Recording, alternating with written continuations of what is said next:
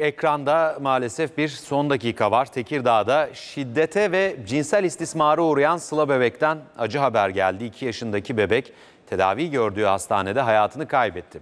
Malkara ilçesinde komşu çocuklarının cinsel istismarı ve şiddetine uğrayan 2 yaşındaki Sıla bebek bir aydır yoğun bakımda yaşam savaşı veriyordu. Son olarak cumartesi günü bebeğin durumunun kötüye gittiği artık ilaçlara tepki vermediği açıklanmıştı. 2 yaşındaki Sıla 30 günlük tedavisinin ardından hayatını kaybetti.